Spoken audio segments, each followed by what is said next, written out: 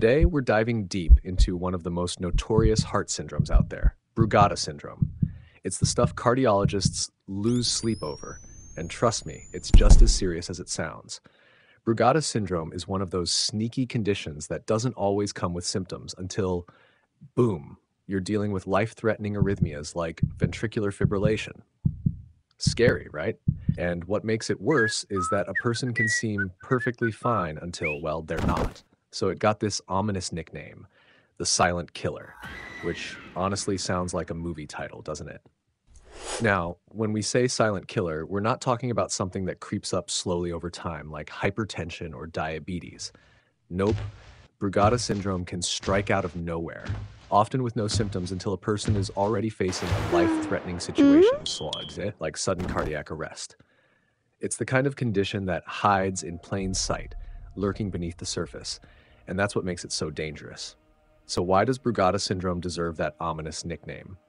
Let's break it down. Brugada is a genetic disorder that primarily messes with the heart's electrical system, particularly the sodium channels. These faulty sodium channels cause the heart to slip into dangerously abnormal rhythms, like ventricular fibrillation.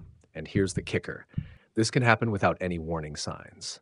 No chest pain, no shortness of breath, just sudden, unexpected heart failure. But don't worry, this syndrome does leave clues, clues that you can spot on an ECG, which is exactly what we're going to talk about today. So, let's dive into what you should be looking for when it comes to Brugada. Brugada syndrome leaves its mark in specific ECG patterns, but unless you know what to look for, it can easily fly under the radar.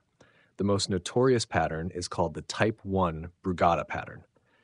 Picture this. In the right precordial leads, particularly V1 and V2, you'll see what we call a coved ST segment elevation. It's like the ECG is waving a red flag. There's a sudden rise of at least two millimeters in the ST segment, followed by a downward slope, and then a negative T wave. That's the telltale sign that should grab your attention because this pattern is strongly linked to sudden cardiac death. Now, we've talked about type 1, but there are actually three types of ECG patterns that might indicate Brugada syndrome. Type 2 gives you that infamous saddleback ST segment elevation, less dangerous, but still something to watch. And type 3, well, it's a mix of the two, with some elevation but not enough to hit the diagnostic criteria for type 1. Yep, Brugada doesn't make it easy on us. It likes to play a guessing game. But here's the thing people with Brugada syndrome often don't show symptoms before that first catastrophic event. They might faint which could be a warning sign of something more sinister, uh, but it's often brushed off as a one off episode.